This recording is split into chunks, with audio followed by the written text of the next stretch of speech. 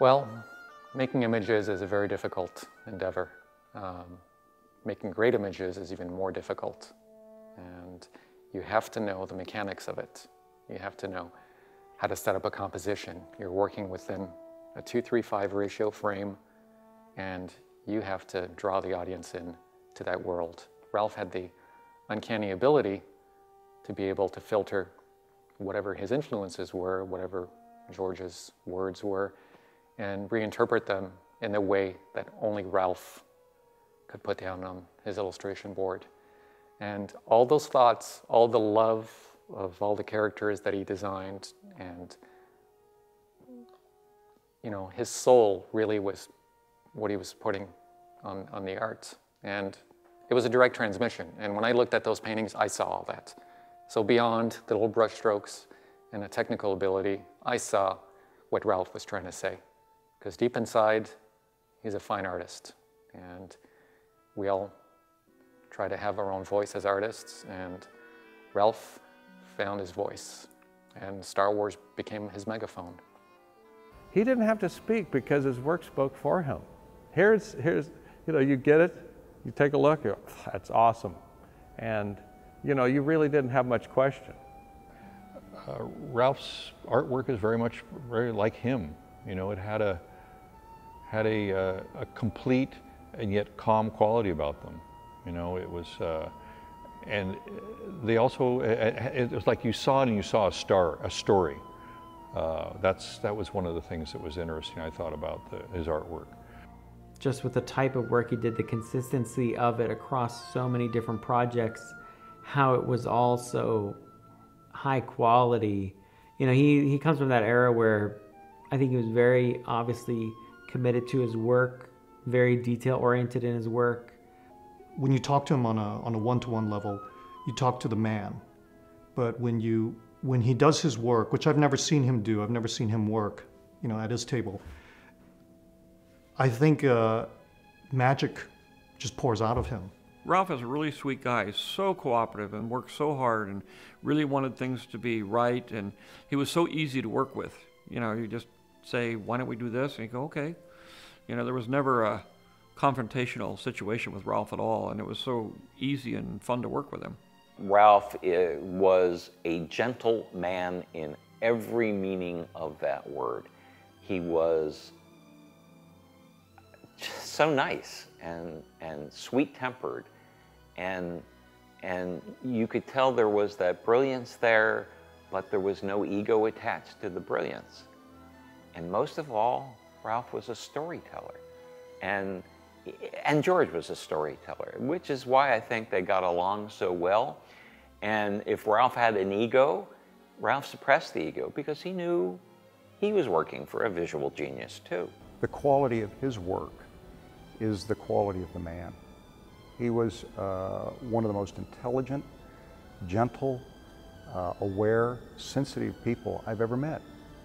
And if I never was aware of what he did creatively, it was a privilege just to know a man like that. Um, for me, Ralph will always be remembered as uh, just a, a, great, great person who uh, just made phenomenal images out of words, you know, out of, out of George talking or him reading the script, uh, taking that and putting it into a three-dimensional uh, image that uh, everybody remembers still to this day. And I got to, I got to personally use them. I mean, what a great thing for me to be able to work from a Ralph McQuarrie artwork.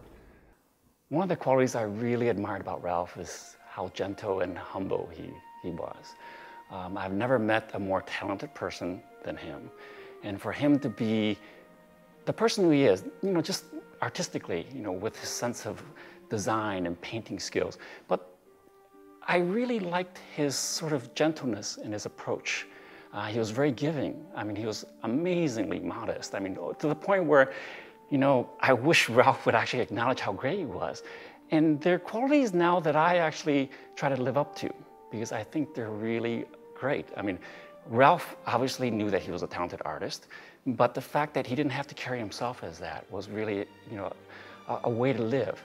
And I think the thing that I admired most and will remember most about Ralph is, you know, he was a humble genius. The way I remember Ralph was just as like a sort of ridiculously kind person. He was, he had this like very sly sense of humor. Um, it was it was very dry, you know. It was um, very playful. Ralph always has that uh, kind of a sly grin or uh, a small chuckle on his face or a smile, and and uh, he always looks like he's enjoying himself. That was for sure. My my strongest sense of, of Ralph is the gratitude for having known him, and what he brought to my life, and that wonderful smile and that face, and that you can see it. You see it in far portraits of him. The the man was uh, his soul was translucent. I'll definitely remember Ralph as uh, the probably the biggest influence on on my career, on on me deciding to become an artist to to work on this type to do this type of work. I'll always remember Ralph um, just because daily he's uh, it's it's like a uh, a slideshow in my mind. Um, it, it, there's this it's it's a constant uh, reference wheel in my mind of Ralph's work, and I just by remembering the work, you remember the artist, and by remembering the artist, you kind of channel that a little bit into, into what you do. I remember Ralph McQuarrie every day. He he was so much bigger than life without meaning to be. His spirit infuses so much of what I have around me 9,000 square feet of Star Wars. I mean, literally and figuratively because he's the guy working with George who came up with the visual parameters that made Star Wars what it was. This incredible, far off place, the used universe, the most amazing things that I could never think about or come up with. And yet, meeting him and knowing how humble a guy he was, and that this came out of somebody like that mean, when I think back, I think at least subliminally Ralph was an influence on me. His manner of dealing with people, his being nice and open to uh, anyone who would ask him for reasonable kinds of things. I think that's what I've tried to adopt in, in working for Lucasfilm, in, in my relations with fans. And, and, you know, Ralph was a template of that. Ralph was a model of that and being surrounded by his work in the library and on the walls. And it's a, it's a wonderful remembrance of, of a giant, a giant. I think I knew Ralph way better before I even met him. Just seeing his art, and like I said, seeing what he brought, the sensitivity of every brushstroke, the level of detail, and the care of craftsmanship that he imbued in every one of his paintings.